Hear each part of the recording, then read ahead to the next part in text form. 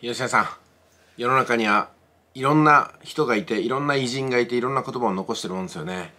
まあ、その言葉を知ることによって自分の脳もさまざまな方法に伸びていって新しい思考にたどり着く。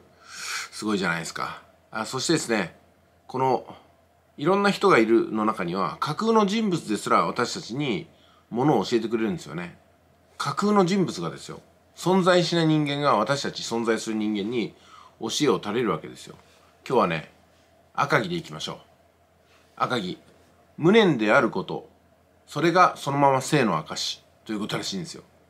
で生きるってことはまあどんな意味があるのかって言いますけども無念を感じることだっていうことなんですよね。ああうまくいかなくなったなとか裏切られちゃった痛い目にあったとかね。なんで自分はこうなんだろうとかね。その無念であることがつまりその痛みがねの生の証なんだっていうことらしいんですよ。もちろん喜びとか幸せっていうものにも生きる実感っていうのはあるでしょうけども反対側に同じ質量と同じ方向のあの、まあ、無念っていうものがあるんですよね。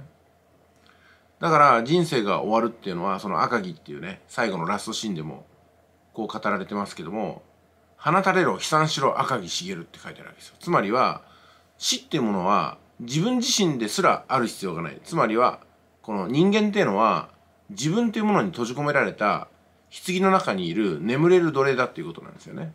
で死によってその眠りから覚めてもう自分っていう個体を飛び出してあの、まあ、個が全体になるっていう言い方をするらしいですけどね。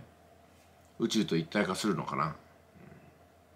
あ、そんなとこですか。これを私はねちょっと言葉にしにくいんですけども大きく感じるところがあるんですよ。まあ死という現実だけが私を解き放つみたいなね。いささか逆説的であるんですけども、うん、まあそうやって考えていくこと感じることが